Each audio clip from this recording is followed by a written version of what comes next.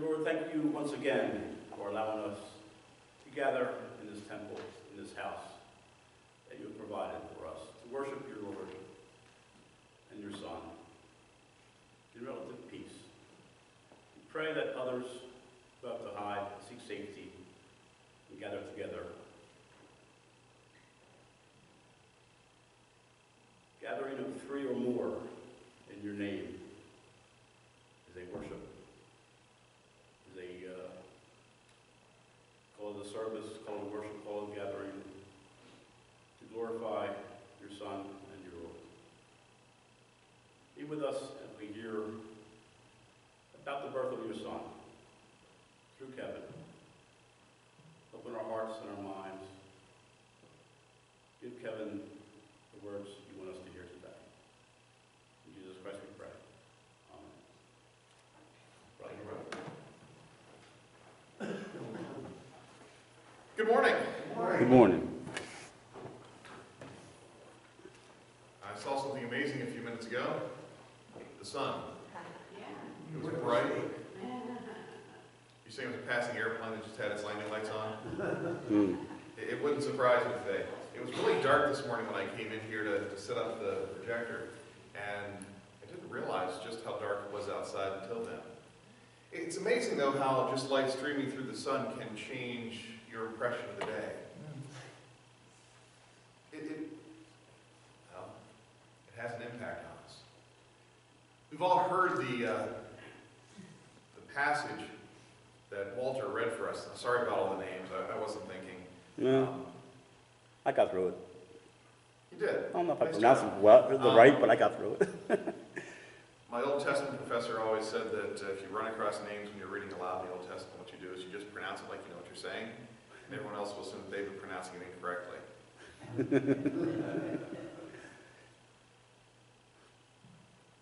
the part of that that we know well is verse 23 of Matthew 1. The virgin will be with child and will give birth to a son, and they will call him Emmanuel. We've heard that numerous times in Christmas services, haven't we? Rarely do we actually read the text where it comes from. And when you do, sometimes you scratch your head a little bit and think, why did Matthew quote this in reference to Jesus? Hopefully when we're done, you'll have the answer to that. If not, I apologize and I haven't done my job well. Our text comes from Matthew 1, 18 through 25. This is how the birth of Jesus Christ came about. His mother Mary was pledged to be married to Joseph. But before they came together, she was found to be with child through the Holy Spirit. Because Joseph, her husband, was a righteous man, he did not want to expose her to public disgrace. He had mind to divorce her quietly. But after he considered this, an angel of the Lord appeared to him in a dream and said, Joseph, son of David, do not be afraid to take Mary home as your wife, because what is conceived in her is from the Holy Spirit. She will give birth to a son, and you are to give him the name Jesus, because he will save his people from their sins. All this took place to fulfill what the Lord had said through the prophet. The virgin will be with child and give birth to a son, and they will call him Emmanuel, which means God with us. When Joseph woke up, he did what the angel of the Lord had commanded him and took Mary home as his wife. But he had no union with her until she gave birth to a son, and he gave him the name Jesus.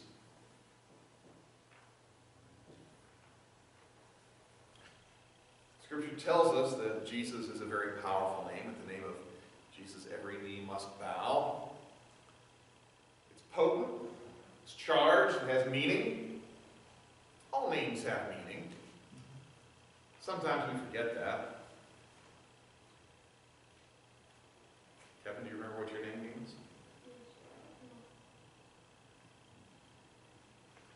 Did I just put you on the spot? Sorry.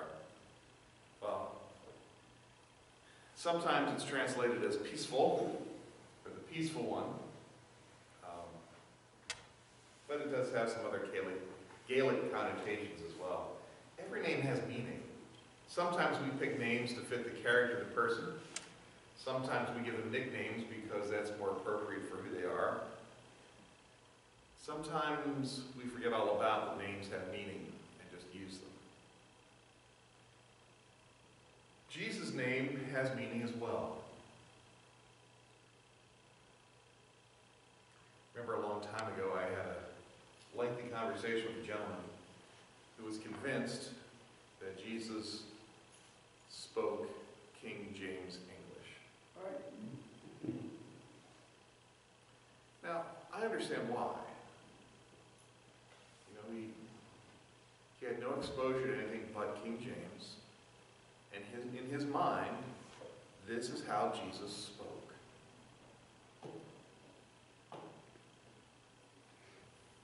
But his name does not come from English. Actually, it comes into English through Latin. From Latin, it comes into Latin from Greek, it comes into Greek from Aramaic. It comes into Aramaic from Hebrew. Truth be told, if I pronounced Jesus' name in Hebrew, you probably wouldn't recognize it anyway. I'm not going to pronounce it because I can't, so we'll never know.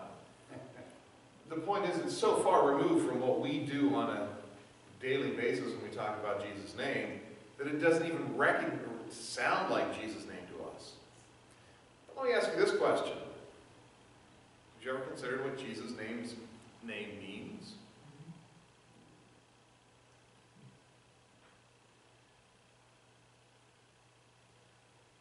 Pray with me as we begin, please.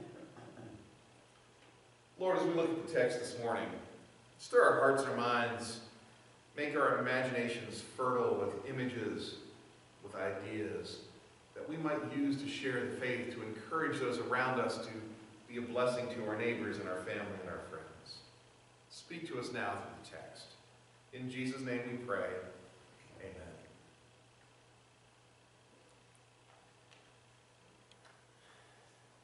Matthew says, This is how the birth of Jesus Christ came about.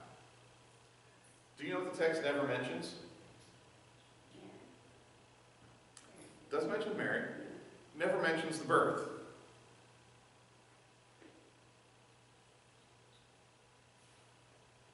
Really, it's not here at all. He says, This is how the birth of Jesus Christ came about, but never actually gets to the point where Jesus is born. Curious? The other thing that I find curious about the text is that, and maybe you noticed this, Joseph has a dream. Angel comes to him in a dream and gives him a particular message. But we don't get the scene painted for us as to what that dream is like. We just get a quotation from the dream. Did you ever notice that? I mean, if you compare Luke's gospel to Matthew's gospel, it doesn't mention Joseph's dream, but Mary gets visitation from an angel. And the entire scene is laid out for us. The angel appears to Mary and he says, Don't be afraid. You are highly favored. There is no mention of a greeting that Joseph receives here. It's just, this is what the angel said. Don't be afraid to take Mary home as your wife. Goes on. But the actual dream itself, we're not privy to it. Never realized that before. Little things. Uh, as you look at the text, this is how it starts. This is how the birth of Jesus Christ came about. His mother Mary was pledged to be married to Joseph, but before they came together, she was found to be with child through the Holy Spirit. Now, if we're honest, in most cases, this is going to be a deal breaker for a relationship. Joseph knows it's not his, suggests there's something else going on, and typically speaking, that often ends up being a deal breaker.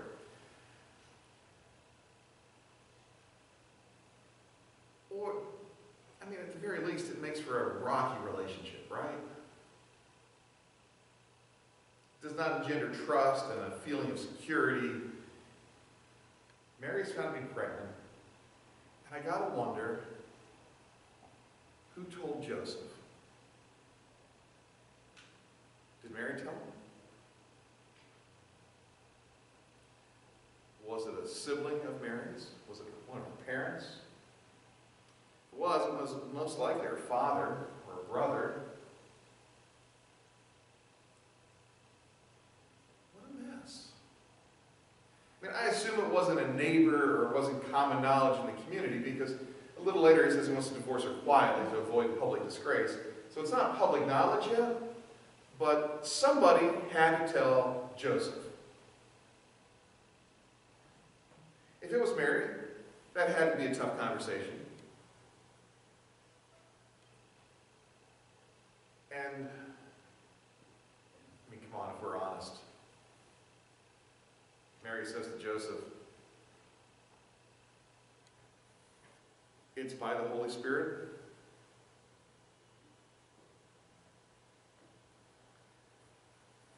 Whatever he was told, he, if he did get that message,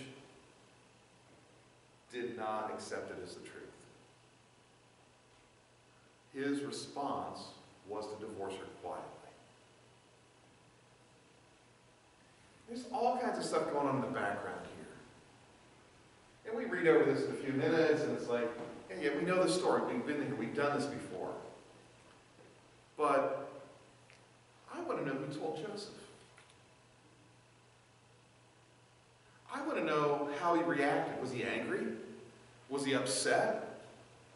How long between the time he found out when he had this dream? What's going on in his head and his heart? Is he heartbroken?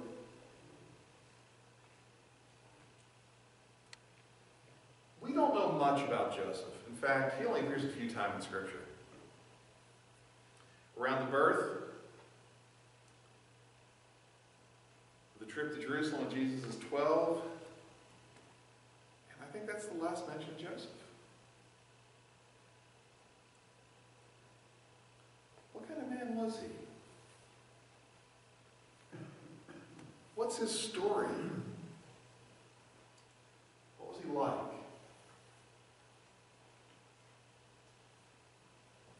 The text says in verse 19 Because Joseph, her husband, was a righteous man, he did not want to expose her to public disgrace.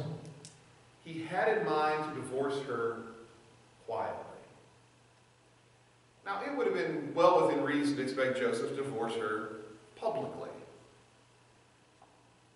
And it may actually have been the preferred method of dealing with a situation like this at the time because it would have preserved his honor. Now, we don't live in a world that gets honor. And when we do, we, we use it sparingly. But in, in ancient Palestine, honor and shame were a big part of everyday life. And just like there was only so many places to graze your sheep locally, only so much water to be had, only so much food, honor and shame were also limited supplies. That's how they understood it.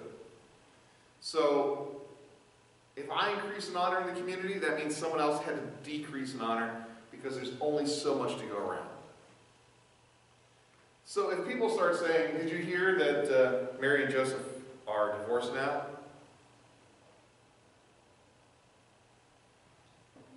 She's pregnant?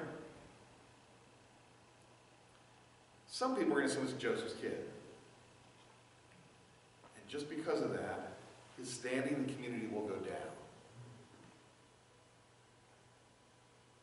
He was unable to control himself before he got married. He's not the man that we thought he was.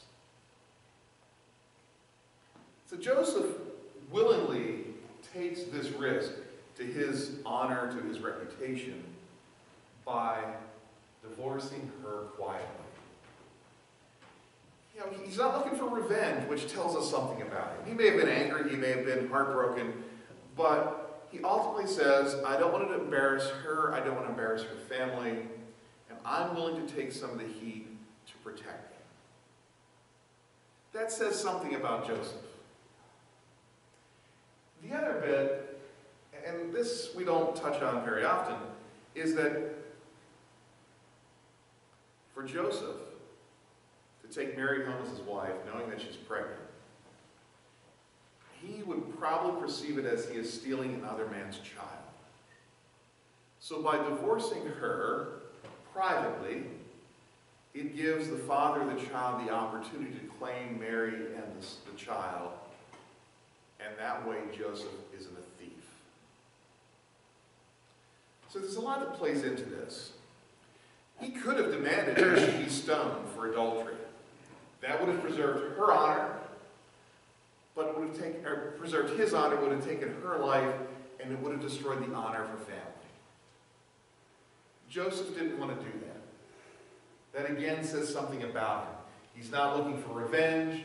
He's not looking to hurt anybody else, but he's actually allowing the father of the child to step up and claim the child. This is something about Joseph that we can say. He is a man who is more concerned about those around him than he is about protecting his own honor. And that's, that's an impressive thing for a person's character.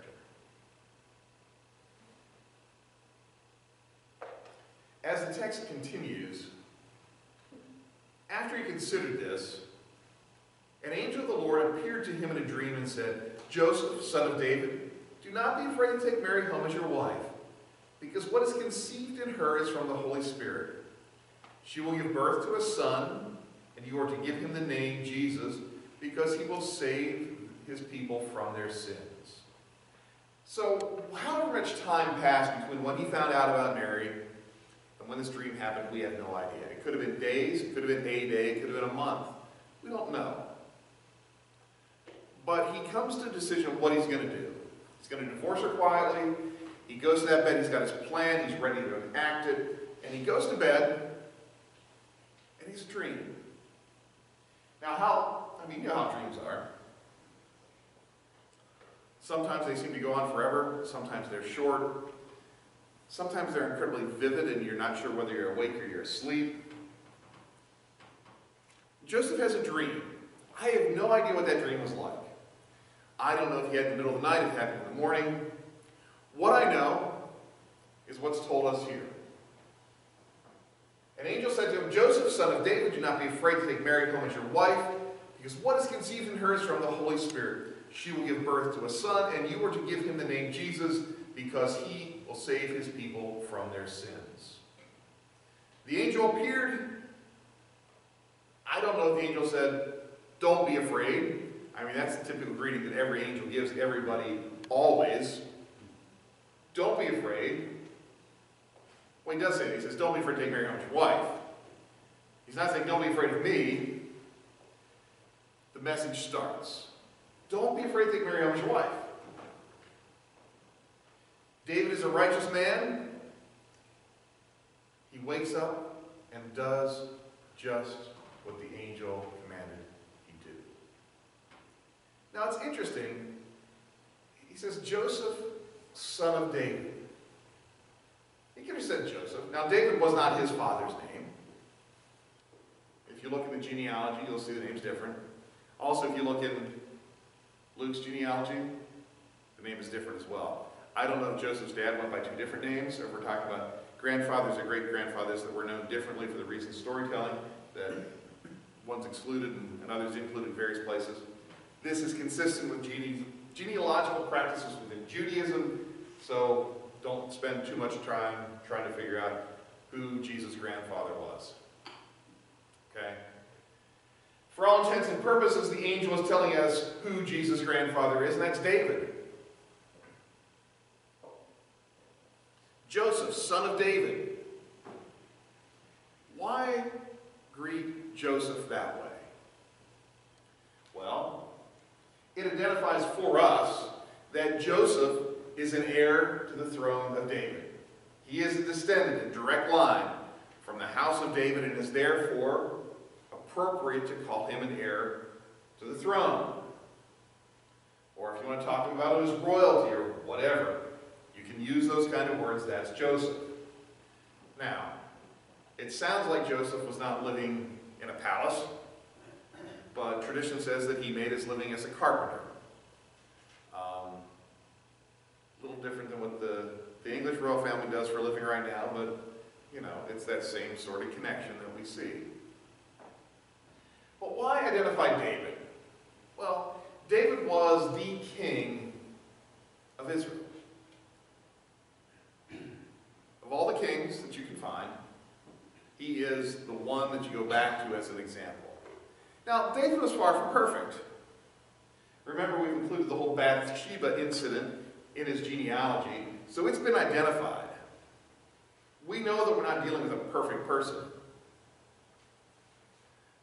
But language is used to identify David in the Bible is that he was a man after God's own heart. Now, when David said, Well, Lord, I want to build a house for you, God said, No, too warlike. He had his faults, he had his problems, but his heart. His heart reflected some of the qualities that reflect God's own qualities. And Joseph, in a similar way, reflects some of those same qualities.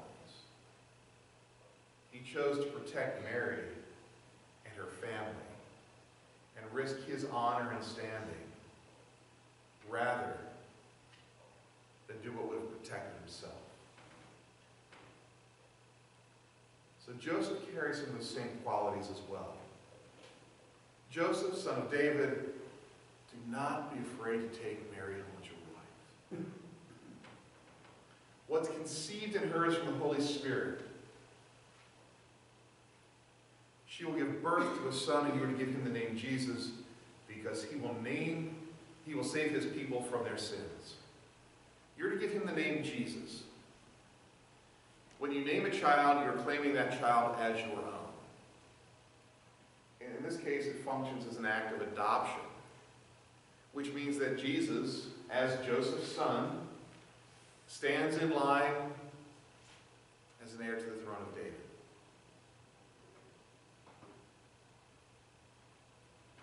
Is being raised by a man who has qualities that are identified with the very heart of God. But he's to name him Jesus. The angel doesn't say, name him after your dad. The angel doesn't say, pick a nice ancestor, one that you like, and you know, give him that name. Call him David. No. He says, name him Jesus. Jesus? Well, as you know, Jesus is a corruption of Joshua. What does Joshua mean? Joshua means God is salvation. So name Jesus, the name Jesus means God is salvation. And what's Jesus going to do? He is going to save his people from sin. So you call him salvation because what he's going to do is save his people. Nice, isn't it? But there's still more to it. It's not just salvation, it's God is salvation.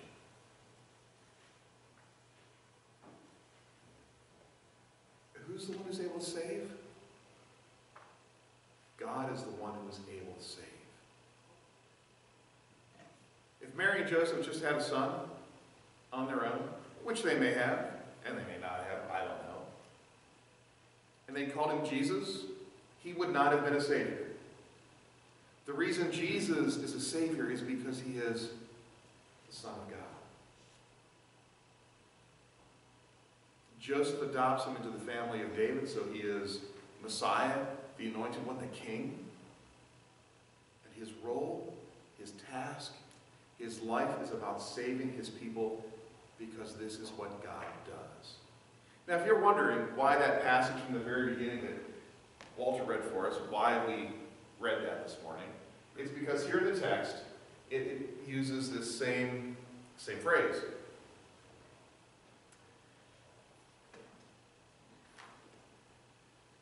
Verse 22. And all this took place to fulfill what the Lord had said through the prophet The virgin will be with child and will give birth to a son, and they will call him Emmanuel, which means God with us.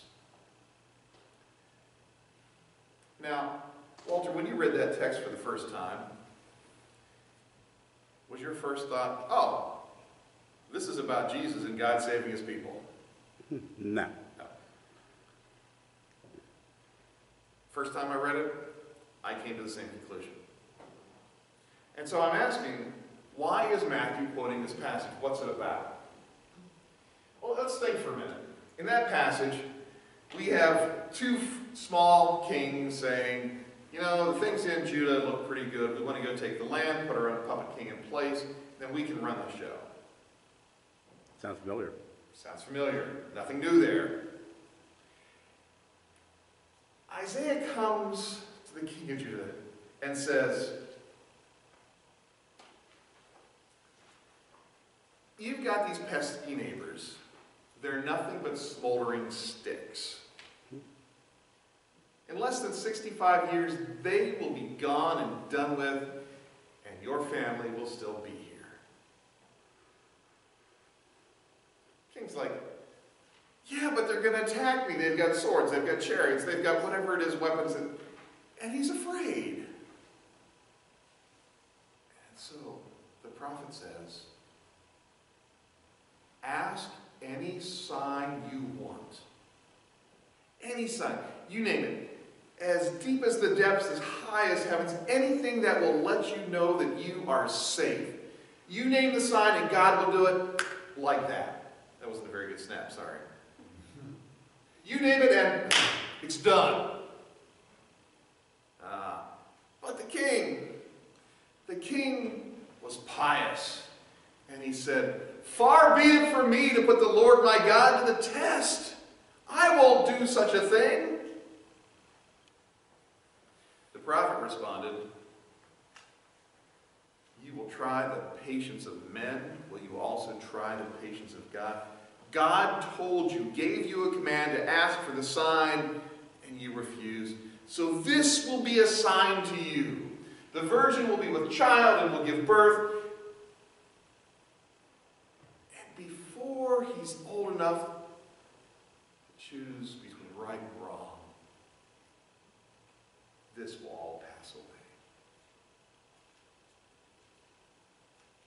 Sorry for the rough paraphrase.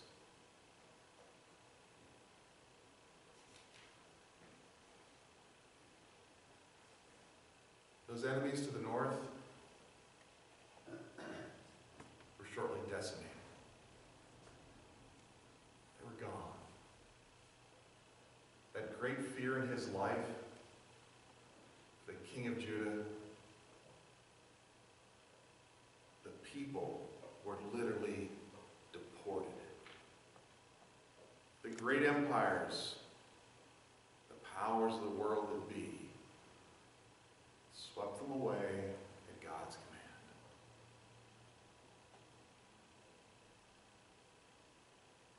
God saved Judah. God was with them. Why this text? For this line. All this took place to fulfill what the Lord had said to the prophet. The virgin will be with child and will give birth a son, they will call him Emmanuel, which means God with us. Jesus is the sign that God will save his people. It's happened before. This particular story in the life of Judah, it plays out, and we see it. It's playing out again, only on a much grander scale. Not about some petty little kingdom in the Judean hill country. But now it's for the lives of all people. God will save his people. It begins with Jesus. And it is a powerful story that transforms us.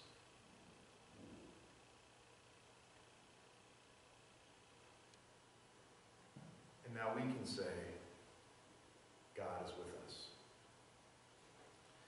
Verse 22, or 24 and 25, we almost don't even need to bother with. Because we know Joseph is a righteous man. What's a righteous man going to do? What God said to do. So, verse 24. When Joseph woke up, he did what the angel of the Lord had commanded him, and took Mary home as his wife. Of course. What else would he do? He's a righteous man. This is what the righteous man does. He does the will of God. No question. He does it. Makes sense. It's the bookend from the opening talking about Joseph's character. Verse 25 is a little different. But he had no union with her until she gave birth to a son, and he gave him the name Jesus. Mary came home with Joseph, gives birth to the son. Joseph calls him Jesus. Now, Matthew, for us, includes that Joseph and Mary had no union until the son was born. Now, if I say to you, Kevin, no TV until your homework's done, what does that imply after the homework is done?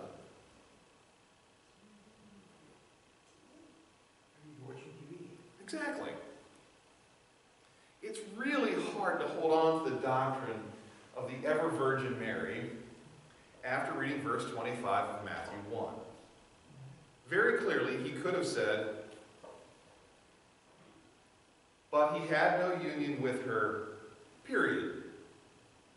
Implying that it never happened ever. He doesn't. He says he had no union with her until after she gave birth to a son, period. With the implication being that they had a normal married life from that point forward. Now, I don't know how much of a normal life you can have as a married couple, knowing that your first child that you are raising happens to be the Son of God. I mean, I imagine there were times they forgot about it, but how do you forget about something like that? At any rate, as much as possible, they had a normal married life from that point. That would be my understanding from Matthew 1. Now, this stands in sharp contrast with much of church tradition. Church tradition says that Mary remains the ever virgin even after giving birth. I'm not quite sure how that works, but it's assumed to be miraculous. Now,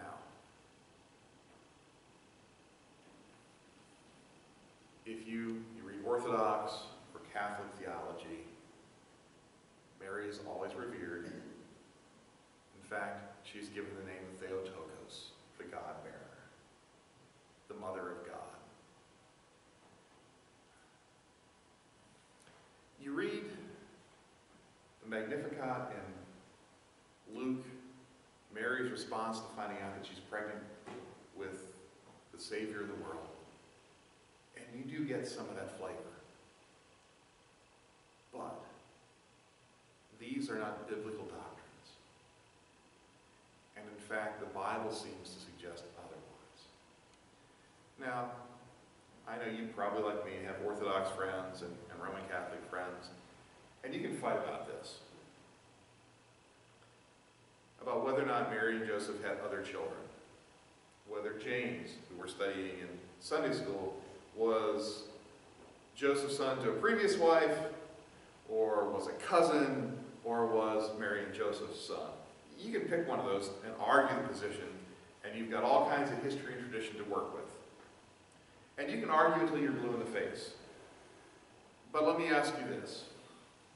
What will you accomplish by doing it? Nothing. You could just as productively go home and try and nail jello to the wall. And it will have about the same outcome. It will create a mess. You'll probably hurt some fingers, maybe some toes when you drop the hammer. But it's not going to accomplish anything worthwhile. Sometimes, on these secondary or even tertiary issues of faith, it's better to just let them be what they are. If that's your tradition, that's fine. We agree that Jesus is Lord and Savior. Amen. And on that point, we move forward together. I got to be honest. There's way too much division within the body of Christ. It is not God honoring, it does not glorify God. If anything, it presents to the world that we don't have to be taken seriously because we can't agree on anything anyway.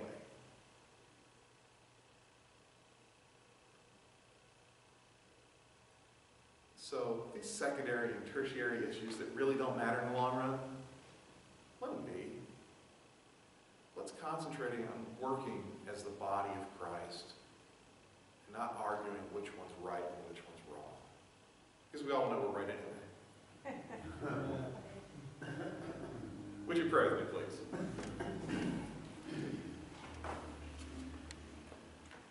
Gracious God, it's always amazing to see what you, you have for us in Scripture. Sometimes we find it easy to understand, and other times we work with a bit before we, we begin to understand the glory that is revealed for us in your Word. Help us to dig deeply and to understand what it is that you would have us know and understand about your Son, our Savior, this day. Stir our minds and our imaginations. Let us be filled with your Spirit and let the church, your body, be unified in action and intent. We ask this now in Jesus' name. Amen.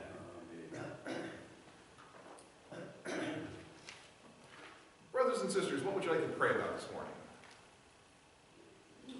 Uh, I just like to give a little update on, on Elaine Bailey, that I mentioned to you some time ago. She had brain cancer and had operations that were, I talked to her the other day, and, uh, by the end of this month, on the twenty-fifth, uh, she's going in for another CAT scan and an MRI, and they will let her know at that time, uh, whether the treatments, the chemo and so forth, uh, did good or it didn't do any good.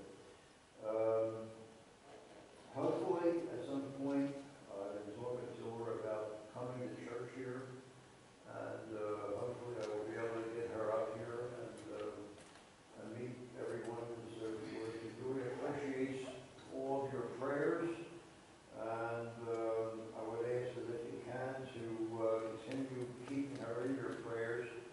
Um, in February, she starts a second round of chemo, which is supposed to be twice as difficult as what the first round was. And, um, so where we're going with this, I really don't know whether this, uh, anything's gonna be working. I don't know until the end of this month. So if you would, keep her in your prayers, and, uh, hopefully at some point I'll be able to get her up here too. So I really appreciate it. We'll keep her in our prayers, Ron. Thank you. Thank you. Pat has a student um, at Jenkintown. A senior this year, and his father passed away with a massive heart attack on Thursday. Um, Young man's going through a tough time with this right now. I Just ask you to keep his family in your prayers. Also ask you to keep my grandmother in your prayers. She um, colonoscopy on Friday and has some inflammation or infection or lower colon and has just not been able to eat or and feel, she's not feeling well. So just ask you to keep her in your prayers too. When you had the party, Yes. you might notice that on the back of your bulletin is something by Frank Ramirez, which a lot of us know him. And uh, you might read it. Let's just See what he says. All right, thank you. Anything else we want to mention? I know Becky is starting her new job tomorrow, so it's first time, she had the old job for like 18 years or something, so. Can I think about her? It's always hard to start something new. It is. That's why you haven't started the meeting here. So I'm still here. I want to start with that. And we're glad. We're glad. Anything else? Well, you might keep Dad in your prayers. He's been kind of down and not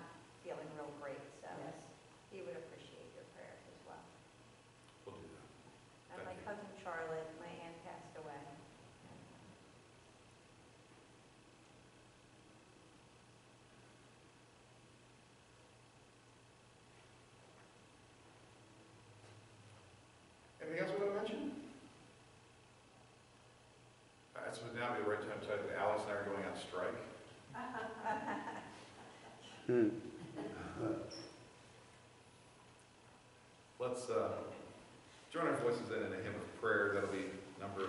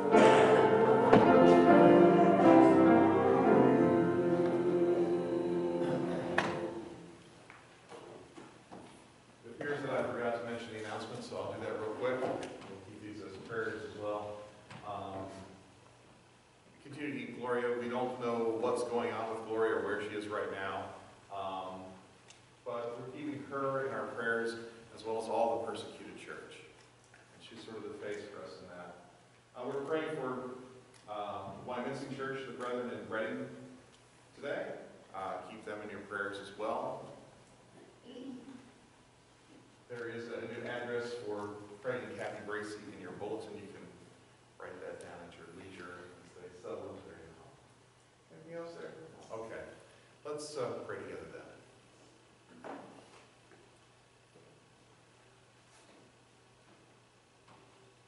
Lord, we are sometimes more aware of others that the body is divided and fractured.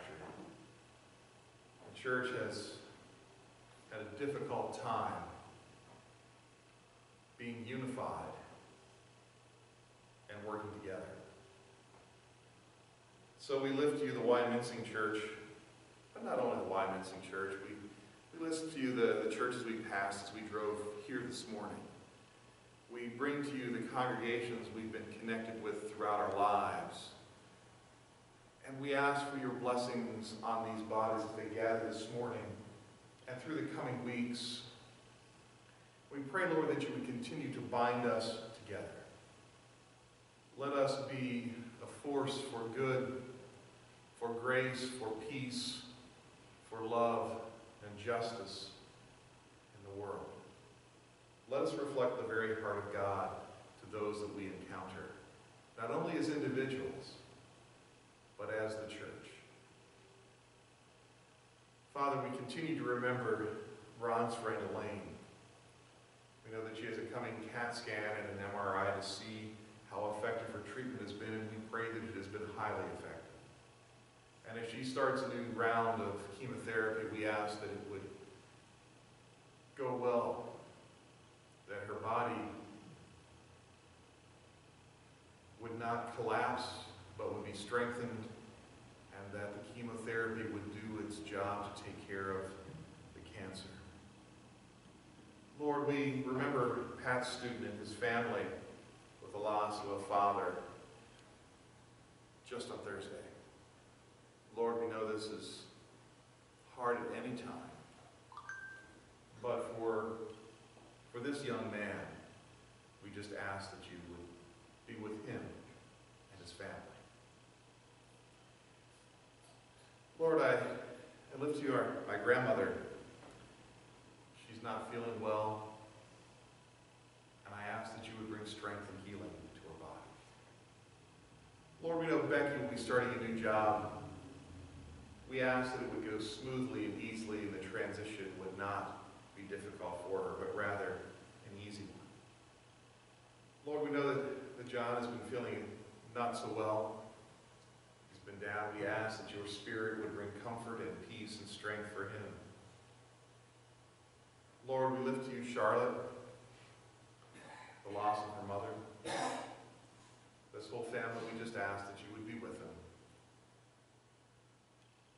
Lord, there are many more things that have taken place in our lives that we haven't mentioned.